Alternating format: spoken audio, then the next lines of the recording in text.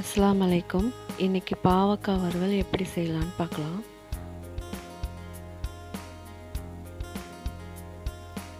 முதல்ல ஒரு வானொலியில் ஒரு கரண்டி எண்ணெய் ஊற்றிக்கணும் பாவக்காவை அரிஞ்சு வச்ச பாவக்காவை போட்டு அஞ்சு நிமிஷம் நல்லா வதக்கணும்.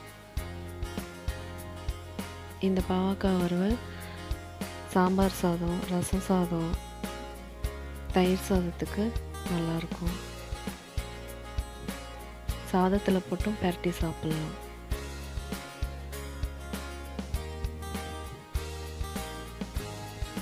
இப்போ வதங்கிருச்சு.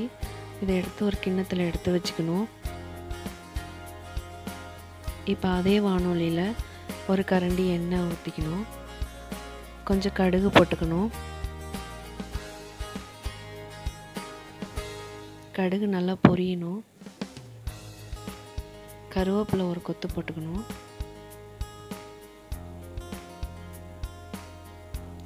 ஒரு வெங்காயம் சின்ன சின்னதாக கட் பண்ணி போடணும்.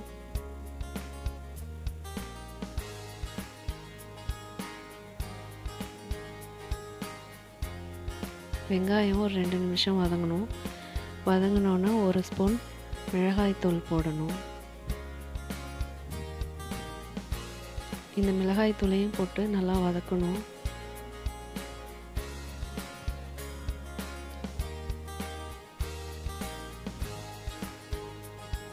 இப்போ ஒரு க தக்காளியை கட் பண்ணி போடணும். சின்ன சின்னதாக கட் பண்ணி போடணும்.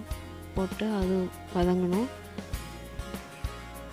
இது ரெண்டும் வேகிறதுக்கு ஒரு ஸ்பூன் தண்ணி மாதிரி ஊற்றிக்கலாம் ஊற்றி நல்லா வேக வைக்கலாம்.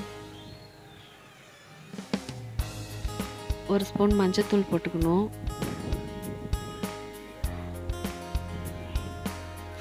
இதுவும் நல்லா வதக்கிட்டு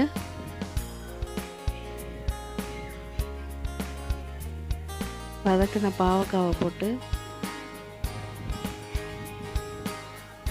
நல்லா பாவக்காயில் எல்லா மசாலாவும் ஏறணும்.